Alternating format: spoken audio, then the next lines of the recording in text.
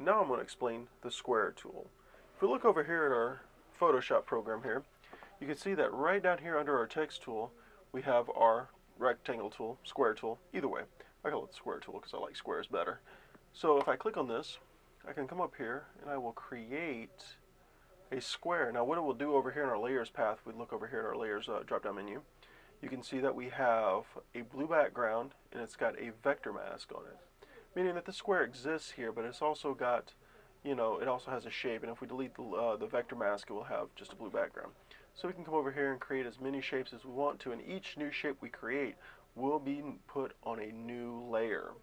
So it's something to remember as you're going through here creating all these shapes, because then if you have to move one of them around, you know, you're only going to be moving the layer that which you have selected, because even if I grab over here, I'm only moving that one square over there. So it's just something to remember when you're using your square tool or your rectangle tool, however you wish to call it. Just play around with it uh, and have a good time.